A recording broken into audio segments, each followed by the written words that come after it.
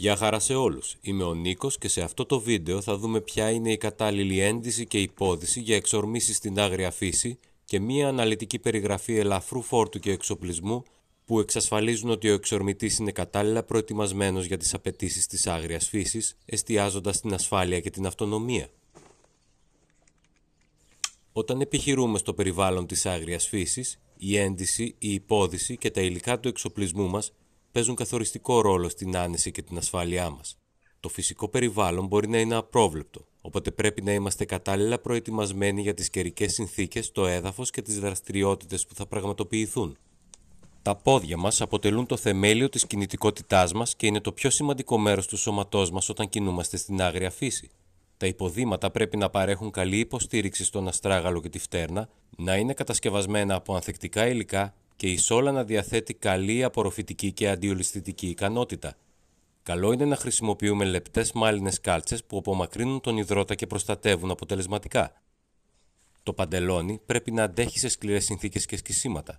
Οι τσέπες, κυρίως τους μυρούς, προσφέρουν άμεση πρόσβαση σε μικρά αντικείμενα και εργαλεία και συμβάλλουν στην οργάνωση και την εργονομία. Ένα καλό νάιλον πουκάμισο με μακριά μανίκια και τσέπες είναι ελαφρύ, ανθεκτικό, στεγνώνει γρήγορα και διαθέτει εξαερισμό και γιακά. Βρισκόμαστε στο τέλος του Σεπτεμβρίου και καθώς το φθινόπωρο πλησιάζει, ένα πανοφόρι τύπου σμοκ προσφέρει εξαιρετική προστασία από τα στοιχεία. Διαθέτει μεγάλες τσέπες που θα λειτουργήσουν συμπληρωματικά στο φόρτο χωρίς ακίδιο. Η ανθεκτικότητα και η πολυλειτουργικότητα του σμοκ το καθιστούν ιδανικό σε συνθήκες με υγρασία, βροχή ή κρύο. Η αποθηκευτική του ικανότητα επιτρέπει τη μεταφορά όλων των στοιχείων που θα εξασφαλίσουν την αυτονομία και την επιβιωσιμότητα σε περίπτωση έκτακτης ανάγκης. Η κάλυψη της κεφαλής είναι εξίσου σημαντική όσο και η προστασία του υπόλοιπου σώματος. Ένα πλατήγυρο καπέλο είναι ιδανικό για προστασία από τον ήλιο και το ψηλόβροχο, στεγνώνει γρήγορα και οι αεραγωγοί του διατηρούν το κεφάλι δροσερό. Ένα πολυλειτουργικό μαντίλι, το γνωστό μπαφ, μπορεί να φορεθεί ως μάσκα, κάλυμα κεφαλής και λαιμού ή προστατευτικό προσώπου. Για εξορμήσεις μικρής ή μέσης διάρκειας, μια ζώνη μέσης με θήκες και ένα μικρό σακίδι ώμου είναι αρκετά για να καλύψουν τις ανάγκες μας.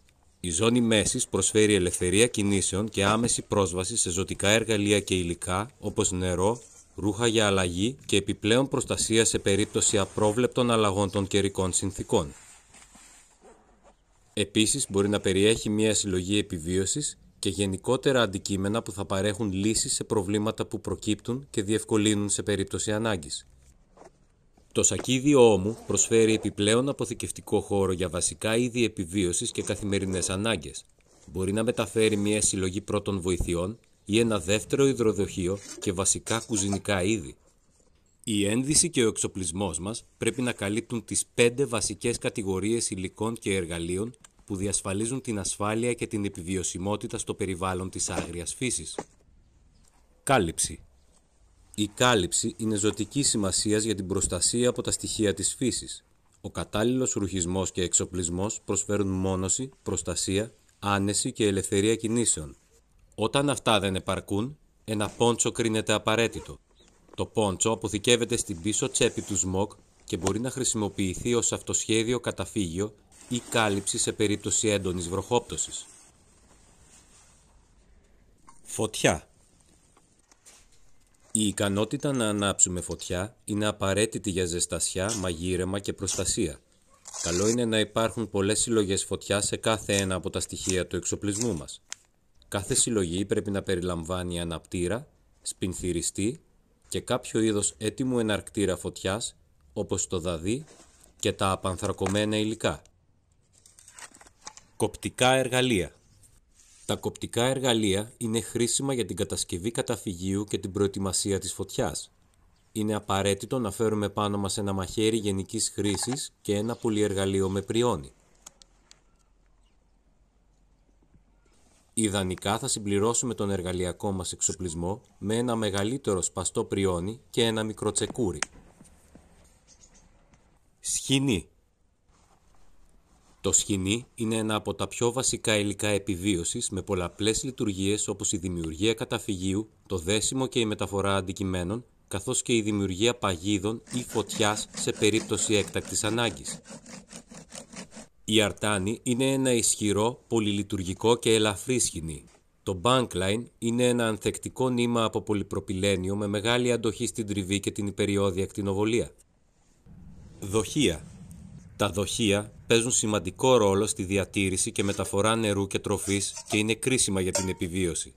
Ο καλύτερος τύπος δοχείου είναι ένα ατσάλινο ανοξίδωτο υδροδοχείο μονού τυχώματος.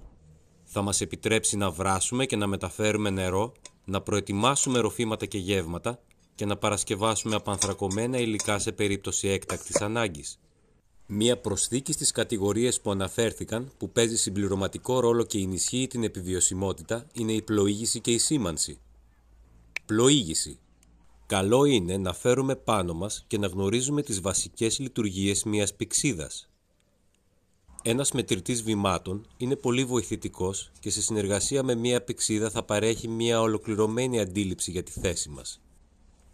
Σήμανση Η επικοινωνία μέσω οπτικών ή ηχητικών σημάτων είναι ζωτική σημασία σε συνθήκες επιβίωσης ή ανάγκης. Η χρήση καπνού, καθρεφτών ή υλικών με ευδιάκριτα ζωηρά χρώματα παρέχουν τη δυνατότητα να προσελκύσεις εύκολα την προσοχή. Ως επιστέγασμα όλων των παραπάνω, θα πρέπει πάντα να θυμόμαστε δύο βασικές αρχές. Πρώτον, ότι δεν δένεται χάνεται. Δεύτερον, ένα ίσον κανένα. Δύο ίσον ένα. Αυτά ήταν τα κατάλληλα υλικά ένδυσης, υπόδησης και φόρτου για μια μικρής διάρκειας φθινοπορεινή εξόρμηση στην άγρια φύση. Να είστε ασφαλείς και τα λέμε στο επόμενο βίντεο.